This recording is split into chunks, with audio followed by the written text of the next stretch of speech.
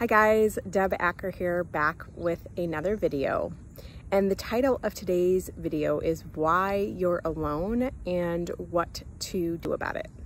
For those of you guys who are new to my work, I'm an intuitive coach and I work mainly with women to help them to heal their past, heal their childhood patterns, specifically around abandonment and the abandonment that can show up when we have physically and or emotionally unavailable parents, right?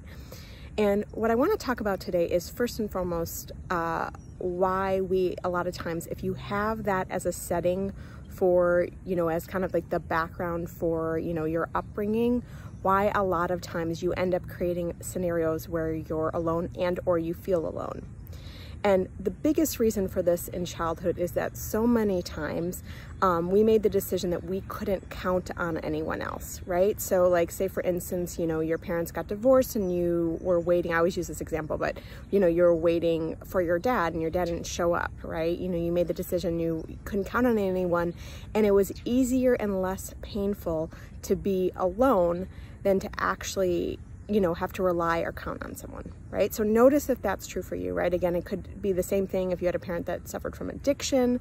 Um, same thing if a parent passed away, you know, you might have made a decision you were all alone and that you didn't have anyone. So again, it would have been subconscious, but just notice if that feels true for you.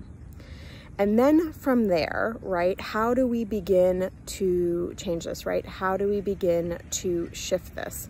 And first and foremost, one of the biggest uh, things to notice is how now is this supporting you? How now is this serving you, right? So it might be serving you now because you're, uh, again, you know, if you're always alone, right, you get to do it your way, right?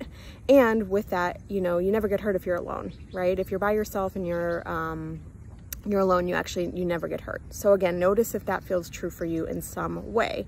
Now, how do you begin to shift this? Well, as I always talk about in these videos, there's two ways to begin to shift this. The physical way and the emotional way, and really the spiritual way. So we could, we could divide this into three ways. So first and foremost, what are the ways, you know, in the physical world that you would feel less alone? So maybe that's contacting a friend or a family member, right, to connect with them.